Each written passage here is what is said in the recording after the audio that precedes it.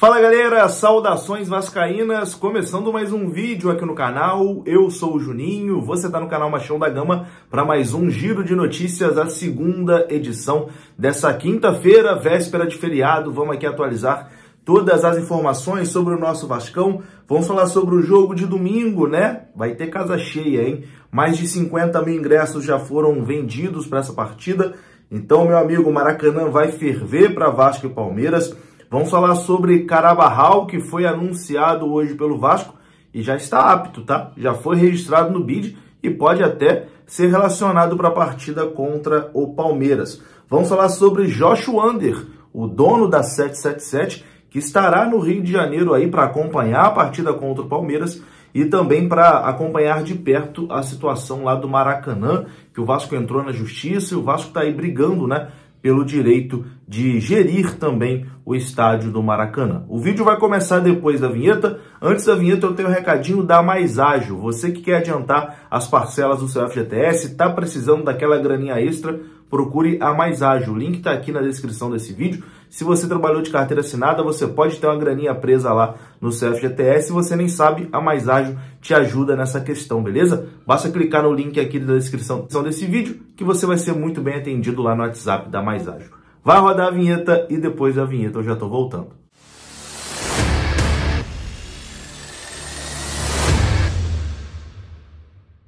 Fala meu povo, o vídeo já vai começar, mas antes, olha só, você que está procurando um site seguro, confiável e com entrega rápida para comprar os seus produtos oficiais do Vascão, você já encontrou, é a Food Fanatics. Lá na Food Fanatics você tem todos os lançamentos do Gigante da Colina naquele precinho camarada e o site sempre tem cupom de desconto ativo. Então, não perca tempo Food Fanatics, parceira do canal Machão da Gama. O link está aqui na descrição desse vídeo.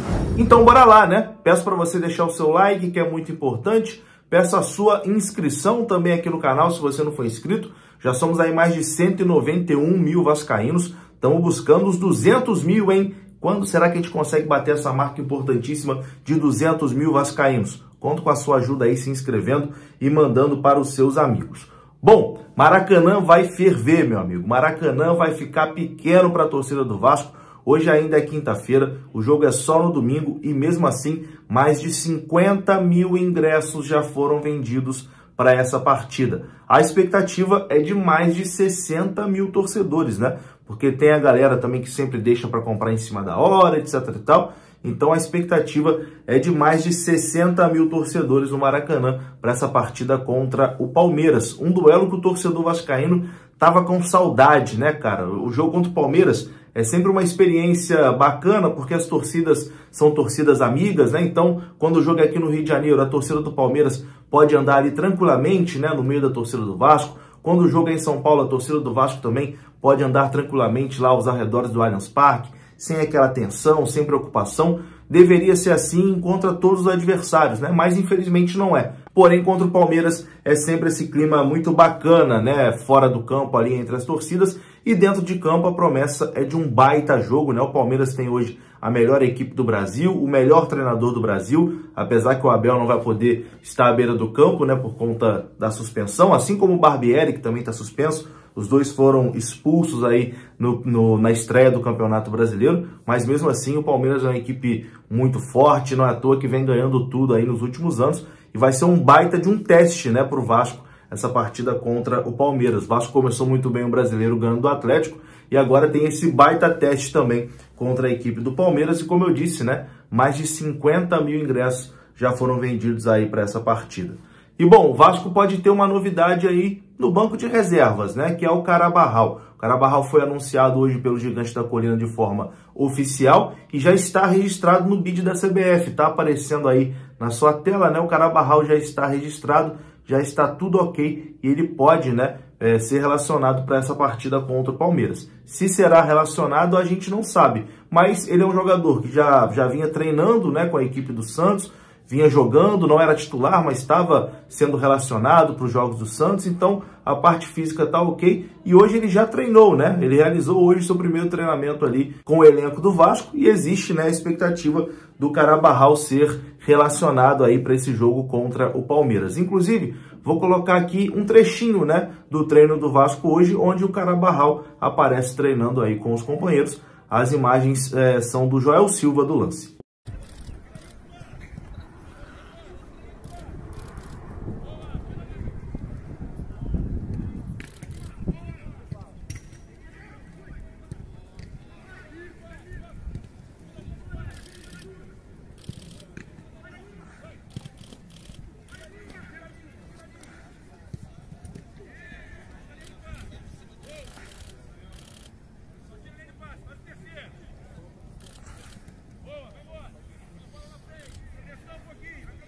Então tá aí. Será que Carabarral será relacionado para essa partida aí contra o Palmeiras? Vamos aguardar. O Carabarral não está garantido nesse jogo não, né? Mas Josh Wander, dono da 777, vai marcar presença. Esse sim está garantido. Né? A informação aqui da UOL é a seguinte, que Josh Wander estará no Rio de Janeiro para acompanhar Vasco Palmeiras e também para marcar presença e acompanhar os desdobramentos dos rumos da administração do Maracanã, algo que interessa à empresa norte-americana que detém ali a SAF Vascaína. Josh Wander vê a questão do Maracanã como algo prioritário e fez questão de viajar até o Rio de Janeiro para poder acompanhar de perto né, essa polêmica que envolve o Vasco, a dupla Fla-Flu e o governo do Rio de Janeiro. A última vez que Josh Wander esteve no Rio de Janeiro foi justamente para se reunir com o governador do Rio, o Cláudio Castro, sobre o Maracanã. Esse encontro aconteceu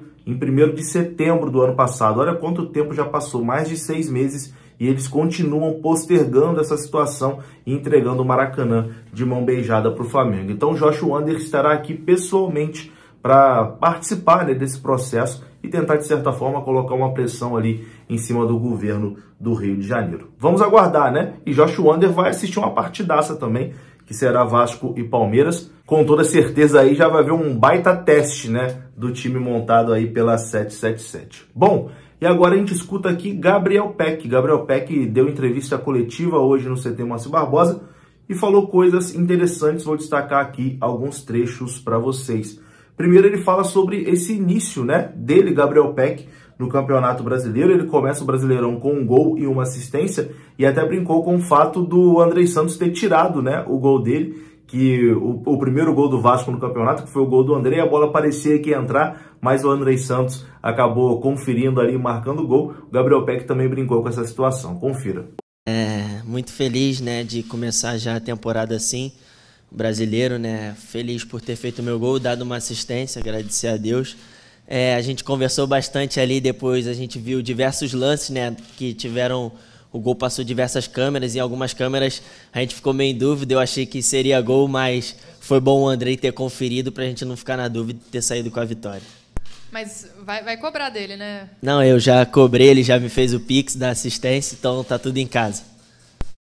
Gabriel Peck, que esse ano tem feito alguns gols né, com a camisa do Vasco, ele também comentou sobre isso, né? Ele disse que botou na cabeça dele que esse seria o ano que ele faria mais gols com a camisa do Vasco e ele está conseguindo ser goleador. Confira. Ah, sem dúvidas. É, eu sempre gostei de fazer gol, sempre fui de fazer muito gol na base.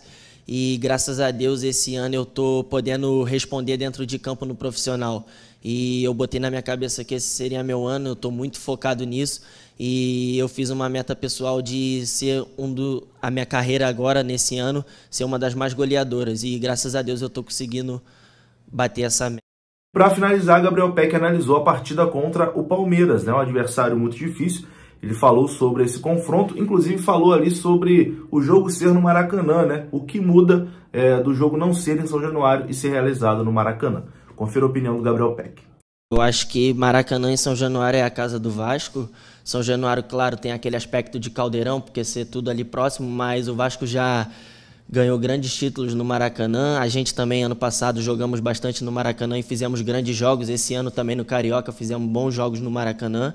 E a torcida do Vasco, eu costumo falar que ela é incrível porque não só aqui no Rio, no Maracanã, em São Januário, mas qualquer lugar do Brasil ela sempre lota os estádios. Então no Maracanã ele faz no, nos tornar em casa também, porque já são 40 mil ingressos vendidos e o jogo é só domingo. Então a gente fica muito feliz com isso. E no Maracanã a gente também se sente em casa e a gente fica muito feliz por ter mandado o jogo no Maracanã também. Então tá aí, vou ficando por aqui. Se você gostou do vídeo, deixa o like que é importante, se inscreva aqui no canal. Saudações vascaínas, até a próxima. Fui!